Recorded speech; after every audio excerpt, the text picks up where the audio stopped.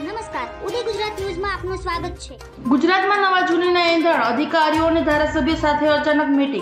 વિધાનસભાની ચૂંટણી પૂર્ણ થતાં જ ભાજપ લોકસભાની ચૂંટણીની તૈયારીઓ ચાલુ કરવા માંડ્યો છે. અચાનક જ એકાએક મોદી સાહેબને બીજા ભાજપના વડાઓ ગુજરાતમાં એન્ટ્રી કરવા માંડ્યા છે. ત્યારે હાલમાં આપણે જાણીતા ભાજપના ચાણક્ય એવા અમિતભાઈ શાહ પણ ગુજરાતના પ્રવાસે આવી ગયા છે. ગુજરાતના પ્રવાસ દરમિયાન અચાનક જ અમિત શાહે સંસદીય મત વિસ્તારમાં ધારાસભ્ય સહિત અધિકારી સાથે બેઠક બોલાવી છે, જે બેઠકમાં ઘણા બધા નિર્ણયો લેવામાં આવશે, જેને લઈને સમગ્ર રાજકારણમાં ચર્ચાઓ થઈ રહી છે. સાથે જ અમિત શાહ પ્રવાસ દરમિયાન વિવિધ લોકાર્પણ કરશે. કેન્દ્રીય વિશ્વવિદ્યાલયના ચાર દીક્ષાંત સમારોહમાં હાજરી આપશે. આ દીક્ષાંત સમારોહમાં પીએચડી અને એમફિલ ચોપન વિદ્યાર્થીઓ ડિગ્રી એનાયત કરવામાં આવશે.